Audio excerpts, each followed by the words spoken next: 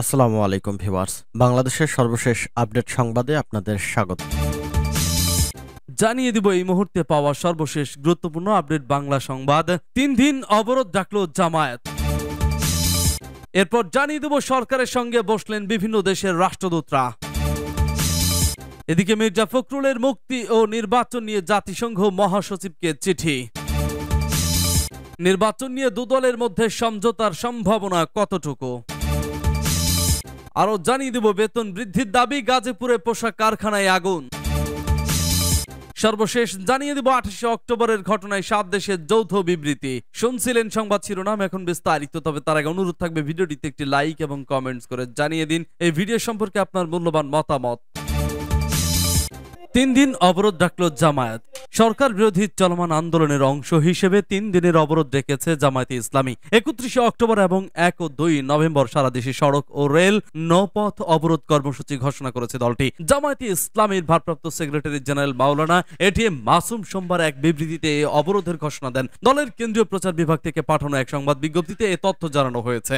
সংবাদ বিজ্ঞপ্তিতে জামায়াতের ভারপ্রাপ্ত সেক্রেটারি বলেন, সরকারের পদ এক দ্বাদশ জাতীয় সংসদ নির্বাচন অবাধ, সুষ্ঠু ও নিরপেক্ষ করার লক্ষ্যে কেয়ারটেকার সরকার ব্যবস্থাপূর্ণ প্রতিষ্ঠা জামায়াতের আমির ডক্টর শফিকুর রহমান সহ গ্রেপ্তারকৃত সকল রাজনৈতিক নেতাদের মুক্তি ও নিত্য প্রয়োজনীয় দ্রব্যমূল্যের ঊর্ধ্বগতি রোধ। আঠাশে অক্টোবর বিরোধী দলের মহাসমাবেশে হামলার প্রতিবাদে একুশে অক্টোবর এবং এক ও দুই নভেম্বর সারা দেশে সড়ক, রেল ও নৌপথ অবরোধের কর্মসূচি ঘোষণা করছে। বিজ্ঞপ্তিতে আরও বলা হয়, আঠাশে অক্টোবর রাজধানী ঢাকায় বাংলাদেশ জামাতি ইসলামী ও বিএনপি সহ সরকার বিরোধী বিভিন্ন রাজনৈতিক দল মহাসমাবেশ কর্মসূচি ঘোষণা করে দেশের আইন শৃঙ্খলা রক্ষাকারী বাহিনী শান্তিপূর্ণ মহাসমাবেশ কর্মসূচি বাস্তবায়নে সহযোগিতার পরিবর্তে নেতাকর্মীদের সমাবেশে আসার পথে বাধা দেয়। সমাবেশে আগত নেতাকর্মীদের গাড়ি থেকে নামিয়ে তল্লাশি করে এবং বাস, লঞ্চ, ট্রেন থেকে নামার পর গণহারে গ্রেপ্তার করে। বিরোধী দলের শান্তিপূর্ণ মহাসমাবেশে আইন শৃঙ্খলা রক্ষাকারী বাহিনী টিয়ার গ্যাস, গুলি ও বেধড়ক লাঠি চার্জ করে মহাসমাবেশে পণ্ড করে দেয়। মহাসমাবেশ ও হরতালকে কেন্দ্র করে গত কয়েকদিনে সারা দেশের জামায়াত ইসলামী সহ বিরোধী দলের প্রায় দুই হাজার নেতাকর্মীকে গ্রেপ্তার করা হয়েছে।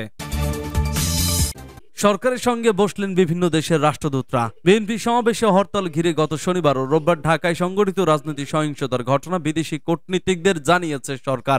একই সঙ্গে অবাধ ও সুষ্ঠু নির্বাচনের অঙ্গীকার পূর্ণ ব্যক্ত করে সরকারের পক্ষ থেকে বলা হয়েছে, শান্তিপূর্ণ সমাবেশের নামে বিএনপি সংগঠিত সহিংসতার মূল উদ্দেশ্য নির্বাচন বানচাল করা।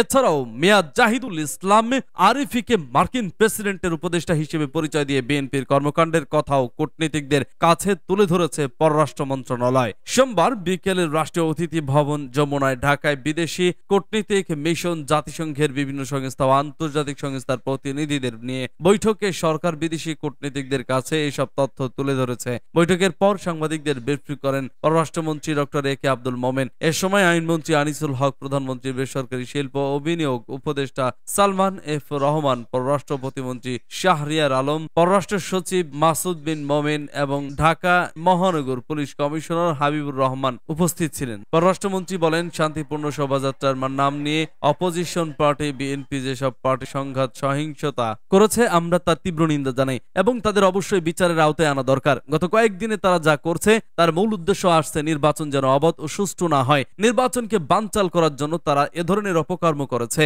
আমরা সেজন্য বিদেশি রাষ্ট্রদূতদের ডেকে জানিয়েছি, আঠাশ তারিখে এখানে কি হয়েছে, প্রেসিডেন্ট বাইডেনের মিথ্যা উপদেষ্টা হিসেবে একজনকে নিয়ে কি কি করা হয়েছে সেটাও তুলে ধরেছি। এ সময় বিএনপিকে নির্বাচনে আসার আহ্বান জানিয়ে ডক্টর মোমেন বলেন, আমরা আমাদের শাসনতন্ত্র অনুযায়ী নির্বাচন করব। রাজনৈতিক সহিংসতা করে সরকার পতনের যে চেষ্টা, এটা অলিক। আপনারা নির্বাচনে আসেন নির্বাচনের মাধ্যমেই সরকার পরিবর্তন হয়। ব্রিফিং এর সূচনা বক্তব্যে পররাষ্ট্রমন্ত্রী বলেন, আঠাশে অক্টোবর যা ঘটেছে তাতে আমরা মর্মাহত। যদিও মির্জা ফখরুলের মুক্তি ও নির্বাচন নিয়ে জাতিসংঘ মহাসচিবকে চিঠি। জাতিসংঘের মহাসচিব অ্যান্থনিও গুতেরেসের কাছে চিঠি লিখেছেন ব্রিটেনের বার্মিংহামের প্রতিষ্ঠান নিউ হোপ গ্লোবালের চেয়ারম্যান মোহাম্মদ ফয়েজউদ্দিন এমবি। চিঠিতে তিনি বিএনপির মহাসচিব মির্জা ফখরুল ইসলাম আলমগীরকে মুক্তি দিতে বাংলাদেশ সরকারের কাছে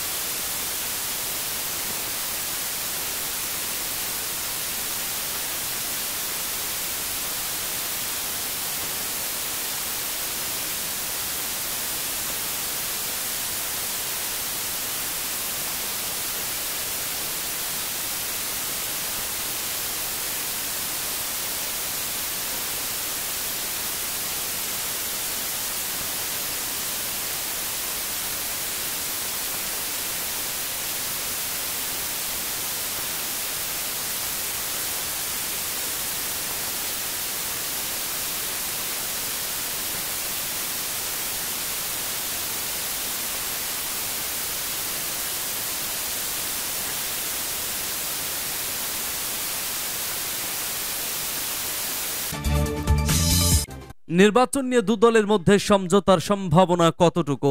আওয়ামী লীগ সাধারণ সম্পাদক ওবায়দুল কাদের আগামী নির্বাচন নিয়ে চলমান রাজনৈতিক অচল অবস্থা নিরসনে বিরোধী দল বিএনপি সঙ্গে সংলাপ বা সমঝোতার সম্ভাবনাকে উড়িয়ে দিয়ে বলেছেন, এর কোনো প্রয়োজনীয়তাই তারা বোধ করছে না। অন্যদিকে বিরোধী দল বিএনপি সরকারের পদত্যাগের দাবিতে রোববারের হরতালের পর নতুন করে চলতি সপ্তাহে তিন দিনের সর্বাত্মক অবরোধের কর্মসূচি পালনের ঘোষণা দিয়েছে। দলটির নেতারা বলেছেন, নির্বাচনকালে নির্দলীয় সরকারের দাবি, আওয়ামী লীগ মেনে নিলেই কেবল একটি সমঝোতার পথ উন্মুক্ত হতে পারে। আর নির্বাচন নিয়ে বিএনপির এমন অবস্থানের বিপরীতে আওয়ামী লীগ যে অবস্থানে অনর তা হলো আগামী সংসদ নির্বাচন হবে শেখ হাসিনা নেতৃত্বাধীন সরকারের অধীনেই। যদিও নির্বাচন সম্পর্কিত গুরুত্বপূর্ণ ইস্যুগুলো নিয়ে আলোচনার মাধ্যমে অবাধ, সুষ্ঠু ও নিরপেক্ষ নির্বাচন নির্বাচনের পরিবেশ তৈরিতে যুক্তরাষ্ট্র সহ পশ্চিমা বিশ্ব এবং দেশের ভেতর থেকে সিভিল সোসাইটি নেতৃবৃন্দ উভয় পক্ষকে অনুরোধ করে আসছে। যুক্তরাষ্ট্র সরকারের অর্থায়নে ঢাকা সফর করে যাওয়া প্রাক নির্বাচন পর্যবেক্ষক মিশন ওয়াশিংটনে ফিরে গিয়ে যে সুপারিশ মালা প্রকাশ করেছিল, তাতেও নির্বাচন ইস্যুতে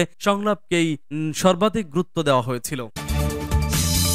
গাজীপুরে পোশাক কারখানায় আগুন, বেতন বৃদ্ধির দাবি। গাজীপুরের কোনাবাড়িতে এভিএম ফ্যাশন লিমিটেড নামে একটি কারখানায় আগুন দিয়েছে আন্দোলনকারী বিক্ষুব্ধ পোশাক শ্রমিকরা। সোমবার বিকেল পাঁচটার দিকে কাশিমপুর কোনাবাড়ি রোডের ওই কারখানার গেট ভেঙে উত্তেজিত শ্রমিকরা ভেতরে প্রবেশ করে আগুন ধরিয়ে দেয় এবং ঊর্ধ্বতন কর্মকর্তাদের মারধর করেন। পুলিশ ও ফায়ার সার্ভিস জানায়, আন্দোলনের কারণে গাজীপুরের বেশিরভাগ পোশাক কারখানায় ছুটি ঘোষণা করে। কিন্তু এবিএম ফ্যাশন লিমিটেড নামে ওই কারখানায় শ্রমিকরা কাজ করছিল। খবরটি আন্দোলনকারী শ্রমিকদের মধ্যে ছড়িয়ে পড়ে। পরে শ্রমিকরা ওই কারখানার সামনে গিয়ে অবস্থান নেয়। এক পর্যায়ে কারখানার শ্রমিকদের আন্দোলনে যোগ দেওয়ার আহ্বান জানায় আন্দোলনকারীরা। কারখানার শ্রমিকরা আন্দোলনে যোগ না দেওয়ার আন্দোলনকারীরা গেট ভেটে, ভেতরে প্রবেশ করে কারখানা শ্রমিক ও কর্মকর্তাদের মারধর করে। এক পর্যায়ে কারখানায় আগুন চালিয়ে দিয়ে খবর পেয়ে কাশিমপুর ডিবিএল ফায়ার সার্ভিসের দুটি ইউনিট প্রায় এক ঘণ্টার চেষ্টায় আগুন নিয়ন্ত্রণে আনে।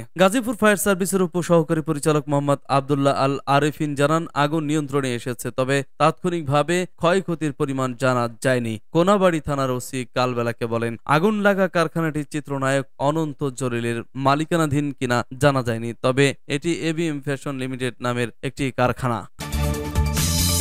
আঠাশে অক্টোবরের ঘটনায় সাত দেশের যৌথ বিবৃতি। শনিবার ঢাকায় রাজনৈতিক সমাবেশ চলাকালে সহিংসতায় গভীর উদ্বেগ প্রকাশ করেছে যুক্তরাষ্ট্র, ব্রিটেন, অস্ট্রেলিয়া, কানাডা, জাপান, দক্ষিণ কোরিয়া ও নরওয়ে সরকার। এ বিষয়ে যৌথ একটি বিবৃতি দিয়েছে এ দেশগুলোর কূটনৈতিক মিশন। ঢাকাস্থ যুক্তরাষ্ট্রের দূতাবাসের ফেসবুক অ্যাকাউন্টে সোমবার joint statement from diplomatic mission শীর্ষক ওই বিবৃতিতে আরও বলা হয়, সহিংসতায় যারা প্রাণ হারিয়েছেন বা আহত হয়েছেন তাদের প্রতি আমাদের সহমর্মিতা। বিবৃতিতে আরও বলা হয়, সব অংশীদারদের প্রতি আমরা সহিংসতা থেকে বিরত থাকতে ও সংযম প্রদর্শনের আহ্বান জানাই। একই সঙ্গে একটি অবাধ সুষ্ঠু অংশগ্রহণমূলক শান্তিপূর্ণ নির্বাচনের পরিবেশ সৃষ্টি করতে একই সঙ্গে কাজ করার আহ্বান জানাই।